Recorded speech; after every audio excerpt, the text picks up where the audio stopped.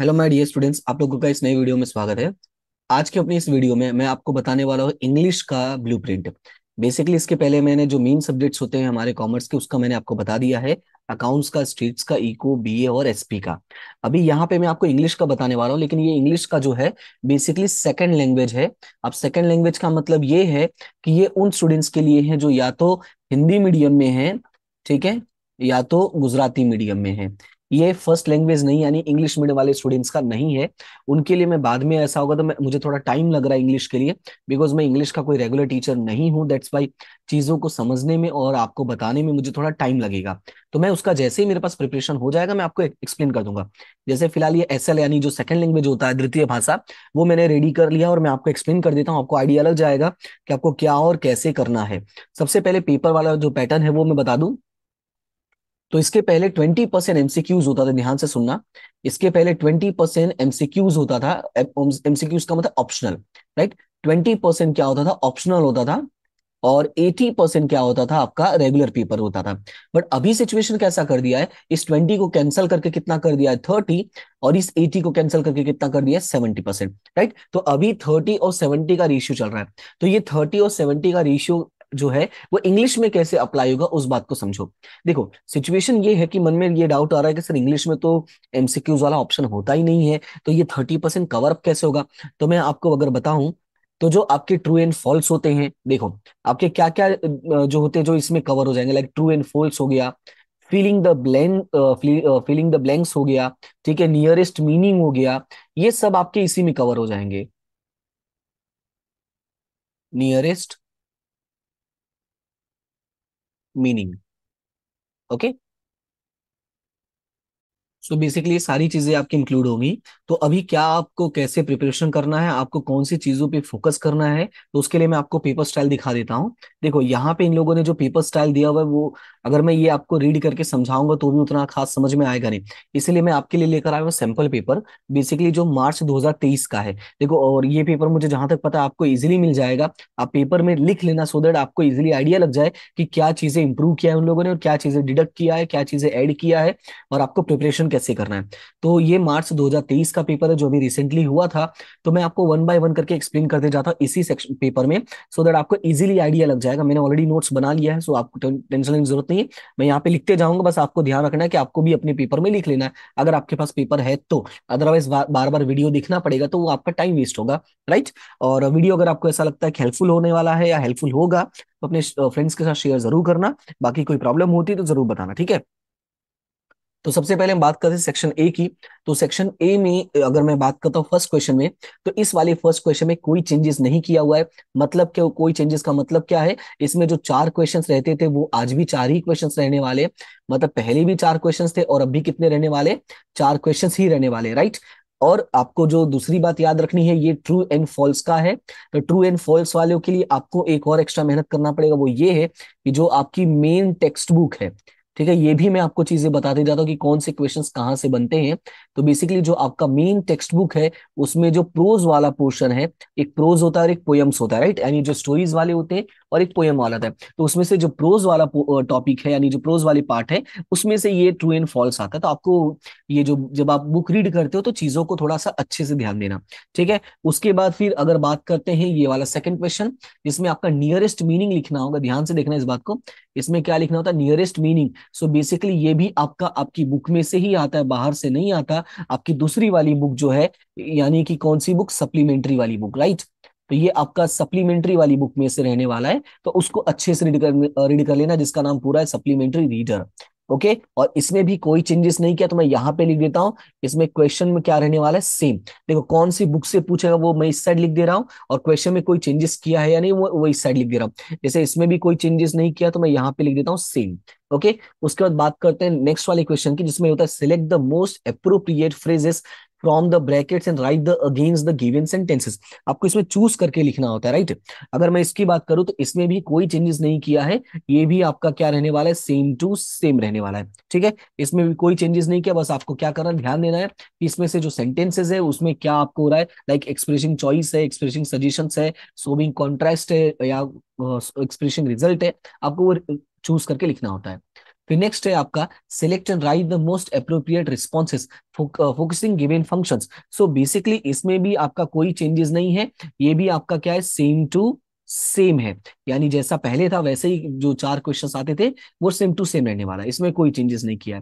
है बात करते हैं नेक्स्ट वाले में। नेक्स्ट वाले में जो है select and write the most appropriate question to get the underline answer अभी ये जो अंडरलाइन है, इसको रीड करना है और उसके बेसिस पे जो यहाँ पे चार ऑप्शन है, उसमें आपको बताना कि कौन सा वाला राइट है। तो इसमें थोड़ा सा चेंजेस किया है और क्या चेंजेस किया है? तो बेसिकली इसमें प्लस वन क्वेश्चन ऐड कर दिया है। मतलब पहले तीन क्वेश्चन होते थे और अब कितने हो जाएँगे? चार। तो मैं यहाँ पे लिख देता हूँ थ्री प्लस वन यानी एक क्वेश्चन क्या किया? एक्स्ट्रा ऐड कर दिया है। तो मैं यहाँ पे लिख देता हूँ plus one question plus one का मतलब एक क्वेश्चन एक्स्ट्रा राइट?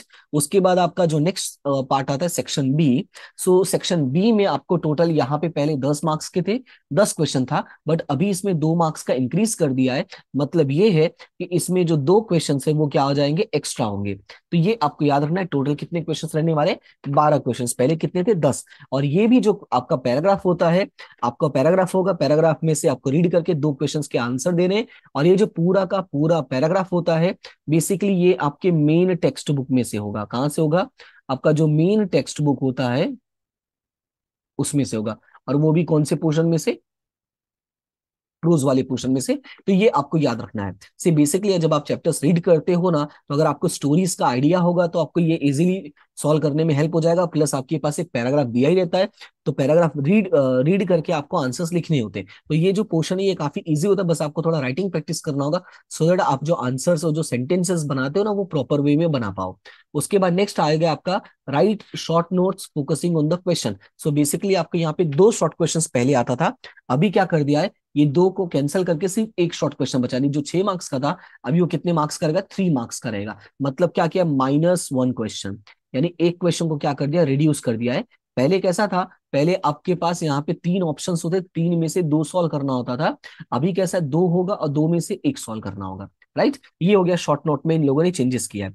उसके बाद आपका जो नेक्स्ट क्वेश्चन आता है वो ये आएगा filling the blanks with appropriate words given in the brackets अब इसमें क्या चेंजेस किया, उसको ध्यान से सुनना। बेसिकली यहाँ पे जो ऑप्शन है आपके, ये वो तो सेम टू सेम ही रहने वाले, उसमें कोई चेंजेस नहीं किया हुआ है। ओके ये क्वेश्चन पूरा का पूरा सेम टू सेम होगा। बस आपको ये बता दूँ मैं, ये जो पैराग्राफ रहने वाला है, ये भी आपका मेन टेक्स्ट बुक से ही रहता है, जो आपकी मेन इंग्लिश की बुक है, ना कि सप्लीमेंट्री वाली। तो मेन वाले टेक्स्ट बुक में से रहता है। इसमें भी कोई मेजर चेंजेस किया नहीं है। उसके बाद चलते हैं नेक्स्ट सेक्शन पे, यानी सेक्शन नंबर सी तो सेक्शन नंबर सी वाला जो आपका पोर्शन होगा, उसमें जितने भी पैराग्राफ आपका होंगे मतलब ये जो आपका है फाइव मार्क्स का, ये पूरा का पूरा आपका जो पहले जैसा था, वैसे ही अब भी रहने वाला है। बस चेंजेस ये है, कोई चेंजेस नहीं एक्चुअली सॉरी ये आपका सप्लीमेंट्री में से आएगा तो मैं यहाँ पे शॉर्ट में सप्ली लिख देता हूँ। ठीक है तो आपको याद रहेगा सप्ली ओके तो ये सप्लीमेंट्री में से आने वाला है तो ये याद रखना। उसके बाद ये होगा read the following passage and write the summary and suggest suitable title to it तो ये भी आपका सेम टू सेम क्वेश्चन है, कोई चेंजेस नहीं किया है, और ये भी आपका कहाँ से आने वाला है? सप्लीमेंट्री में से ही आएगा।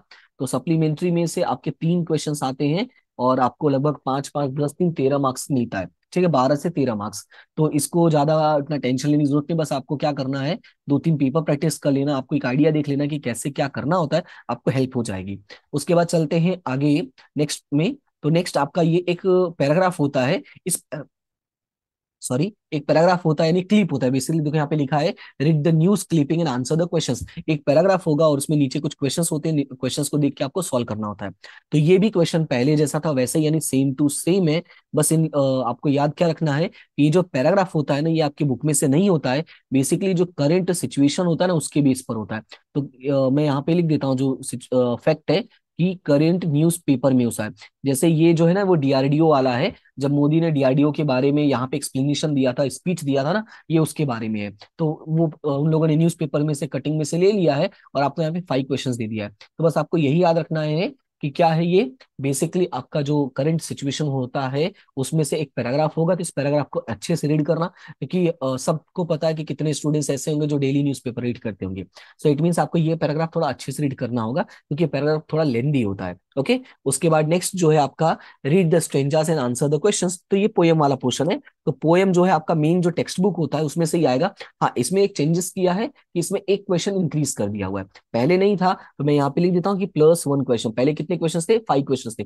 तो अभी कितने क्वेश्चन आने वाले इसमें? इसमें टोटल सिक्स क्वेश्चन आने वाला है। तो आपका एक क्वेश्चन इंक्रीज कर दिया है और आपका ये आएगा पोयम पार्ट में से, यानी जो मेन टेक्स्ट बुक है, उसमें से ही आएगा। बट कौन सा आएगा पोयम पार्ट है। आपको दिख भी रहा होगा, ये पोयम ही है। ठीक है, ये मुझे बताने की ज़रूरत नहीं है, वैसे ही आपको दिख जाता है कि पोयम है बट स्टिल मैं बता ज़रूर दे रहा हूँ। उसके बाद नेक्स्ट है आपका do as directed do as as directed में कोई चेंजेस नहीं है डू एज डायरेक्टेड में जो चीज़ें पहले होती थी, वही अब भी है।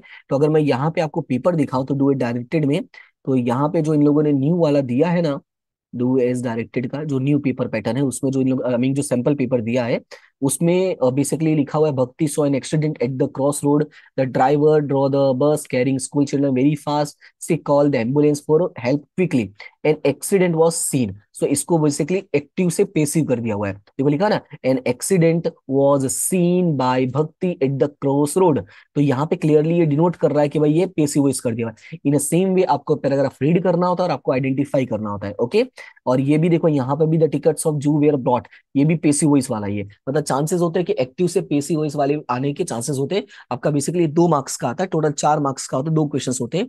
एक फोर्टी नाइन मार्क्स होता फोर्टी नाइन नंबर होता है, एक फिफ्टी नंबर होता है ओके उसके बाद बढ़ते हैं नेक्स्ट पे तो नेक्स्ट आपका क्या है? Render the following dialogue into indirect speech यानी इनडायरेक्ट स्पीच आता है। तो इनडायरेक्ट स्पीच में बेसिकली इन लोगों ने एक छोटी सी हेल्प की है, और वो ये किया है कि एक मार्क्स रिड्यूस कर दिया है। यानी स्टूडेंट्स को इसमें ज़्यादा परेशान होने की ज़रूरत नहीं है। तो यहाँ पे लिख देता माइनस वन मार्क रिड्यूस्ड अब कंटेंट कितना रहने वाला है, वो मैं नहीं कह सकता, क्योंकि इसमें देखो one two three four and five sentence था। अब जो एग्ज़ाम में आएगा, उसमें कितने सेंटेंसेस हो सकते हैं मैं कह नहीं सकता हूँ। लेकिन हाँ ये है मार्क्स मार्क्स रिड्यूस किया हुआ है तो चांसेस है कि अब छोटा रहने वाला है, ठीक है? उसके बाद नेक्स्ट क्वेश्चन है आपका complete the sentence using the function given in the brackets अब इसमें भी कोई चेंजेस नहीं किया सेम टू सेम है, यानी कोई क्वेश्चन इंक्रीज नहीं किया, कोई कुछ बस एक छोटा सा चेंजेस किया है, और वो चेंज किया है। यहाँ पे अगर देखोगे I saw the same police man as talking about in relation to a person किसी पर्सन के बारे में बात कर रहा है और एज लगा के लिखना हुआ है। I saw the same police man as I have seen earlier या जो भी ऐसा हो सकता है राइट right? तो यहाँ पे ये ऐसे आपको बना के खुद से लिखना पड़ता था। बट अभी क्या किया इन लोगों ने? इसमें ऑप्शन देना स्टार्ट कर दिया। मतलब क्या है कि इसमें आपके पास चार ऑप्शंस होंगे one two three and four इन चारों ऑप्शंस को रीड करना होगा आपको अप्रोप्रिएट ऑप्शन सिलेक्ट करके वो लिखना होगा। तो मैं आपको एक बार दिखा देता हूँ पेपर में सो दैट आपको एक और प्रॉपर आइडिया लग जाएगा। जैसे यहाँ पे देखो लिखा हुआ है complete the sentences choosing correct option Sonia studied so seriously expressing result she misses to watch her uh, TV serial, she, uh, that she forgot to have her breakfast, that she could forgive, uh, forget to invite me as her brother does. so, तो यहाँ पे कैसा है कि आपको choose करके देखना लिखना है कि कौन सा वाला राइट होगा तो आपके पास चार ऑप्शन है और यहाँ पे लिख भी दिया है ना एक्सप्रेसिंग रिज़ल्ट अब इन चारों में से आपको रिज़ल्ट वाला देखना कि उतना ज़्यादा सीरियसली पढ़ रही है कि भाई वो कभी कभी क्या करती है, अपना ब्रेकफास्ट लेना भी भूल जाती है। एज हर ब्रदर तो मुझे ये वाला ही लग रहा है। देखो, मैंने पहले ही कहा I am not that good in English मैं इंग्लिश का टीचर नहीं हूँ, ना ही मैं लिटरेचर का टीचर हूँ। हाँ लेकिन ये है कि चीज़ें प्रैक्टिस करके कोई भी सीख सकता है। इट्स वेरी नॉर्मल कहते हैं भगवान ने इतना टैलेंट तो सभी को दिया है कि भाई आप चीज़ों की प्रैक्टिस करोगे तो आपको आ ही जाएगा। ओके तो आप भी प्रैक्टिस करो, आपके पास ऑप्शंस दे दिया है, आप चारों ऑप्शंस को रीड करो चेक करो कि इसमें से कौन सा एक्सप्रेसिंग रिज़ल्ट है। तो आपको थोड़ा प्रॉपर वे में आइडिया लग जाएगा, ठीक है? तो आपको चूज़ करके लिखना होगा ओके तो अभी चलते नेक्स्ट वाले पे। तो नेक्स्ट में आपका आता था री राइट सॉरी ये रहा हाँ combine the following sentences and make a meaningful sentences तो इसमें कोई चेंजेस नहीं का ये पहले जैसा था, अब भी वैसा ही रहने वाला है। यानी जैसा इसमें दिया हुआ है, वो वैसा का वैसा एग्ज़ाम में रहेगा। उसके बाद अगर बात करते हैं क्वेश्चन नंबर फिफ्टी एट की तो यहाँ पे देखोगे rewrite the paragraph correcting the option अब देखो यहाँ पे लिखा irritate some and to take an a I mean a right ये चार ऑप्शन है। तो यहाँ पे और दूसरा ऑप्शन ही आपको करेक्ट करना है, खुद से करेक्ट करना है। लेकिन अब क्या कर दिया है? चेंज क्या किया है?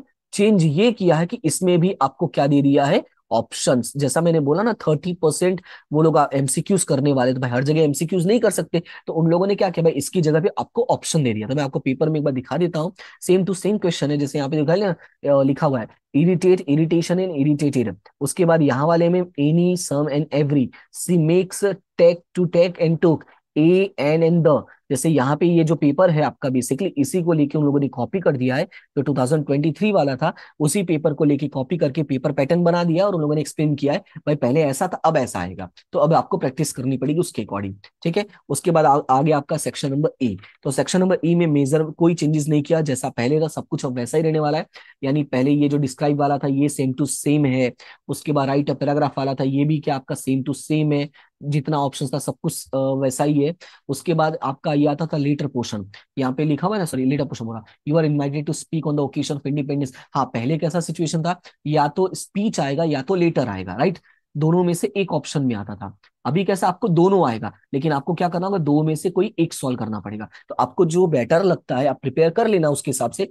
चाहे स्पीच के लिए प्रिपेयर कर लेना, चाहे लेटर के लिए प्रिपेयर करना क्योंकि दोनों में से लिखना एक होगा। पहले कैसा था स्टूडेंट्स को दोनों ही प्रिपेयर करना पड़ता था कि भाई दोनों में से कुछ भी पूछ लिया तो। जैसे स्टूडेंट्स मुझे बोले थे, सर, हम लेटर प्रिपेयर करके गए थे और लेटर के बदले में स्पीच आ गया। मतलब बेचारे लेटर पे इतनी मेहनत किए थे और पूछा क्या था स्पीच पूछा था। तो इसीलिए आपको क्या करना है, अपने आपका जो पावर है, उसके अकॉर्डिंग आपको आई मीन उसके अकॉर्डिंग आपको प्रिपेयर करना है। अगर मान लो आपको लेटर अच्छा आता है तो आप लेटर प्रिपेयर कर लो। अगर आपको स्पीच अच्छा आता है तो स्पीच कर लो। ये आएगा दोनों बट दो में से क्या करना होगा? एक क्वेश्चन को लिखना होगा। तो मैं यहाँ पे लिख देता हूँ, इसके ऑप्शन में क्या आएगा? कि उन लोगों ने ऑप्शन भी दिया है, और ऑप्शन में जो होगा, वो आएगा आपका लीटर राइटिंग ठीक है? किसी भी पोस्ट को लेके आ जाएगा। उसके बाद नेक्स्ट है, यहाँ पे ईमेल है, और ये रिपोर्ट राइटिंग है। तो ये जैसा पहले था, अब भी वैसा, इसमें कोई चेंजेस नहीं किया। इन दोनों में से कोई एक लिखना होगा। चेंजेस बस यहाँ पे यही किया हुआ है। ठीक है? तो ये था आपका पूरा पेपर पैटर्न इंग्लिश का। मैंने जो प्रीवियस ईयर का पेपर है, उसी को बेस लेके और ये वाले पेपर जो मेरे पास था, यानी जो बोर्ड की तरफ़ से आया, इन दोनों को कंपेयर करके आपको जो चेंजेस वो मैंने बता दिया। अगर मैं इसमें से बताता तो आपको आइडिया शायद नहीं लग पाता उतना, इसीलिए मैंने ओरिजिनल पेपर लिया कि जो प्रीवियस ईयर एग्ज़ाम दिया है, वो आपके पास आसानी से मिल जाएगा, लगभग सारे स्टूडेंट्स के पास। तो मैंने इसलिए बता दिया, भाई क्या क्या चेंजेस किया, बस आपको क्या करना है वीडियो को प्रॉपर वे में देखना है और अपने पेपर में लिख लेना कि, भाई, क्या उन लोगों ने चेंजेस किया हुआ है। और मैंने क्लियरली दिया कि चेंजेस किया है कि नहीं किया है, इसलिए आपको कोई प्रॉब्लम नहीं होने देखो यहाँ पे लिखा ना सेम है सेम है ऑप्शन दे दिया है तो मैंने यहाँ पे लिख भी दिया है भाई ऑप्शन दिया है। तो मैं यहाँ पे लिख देता हूँ ऑप्शन दिया है, जिससे क्या होगा, आपको कोई प्रॉब्लम नहीं होगा। बाकी अगर वीडियो में कोई तकलीफ़ रहती है, कोई भी डाउट रहता है तो आप कमेंट ज़रूर कर देना और अपने फ्रेंड्स के साथ शेयर करो और अच्छा लगता है तो कमेंट करके ज़रूर बताना। नहीं अच्छा लगता तो भी कमेंट करके बताना, आपका रिव्यू बहुत ज़रूरी है सो दैट मुझे आइडिया लगे कि हाँ मैं कितना, क्या जो काम कर रहा हूँ, वो सही कर रहा हूँ या नहीं कर रहा हूँ, ठीक है? फ़िलहाल आज के लिए इतना ही, मिलते हैं नेक्स्ट क्लास में, तब तक के लिए thank you so much and have a good day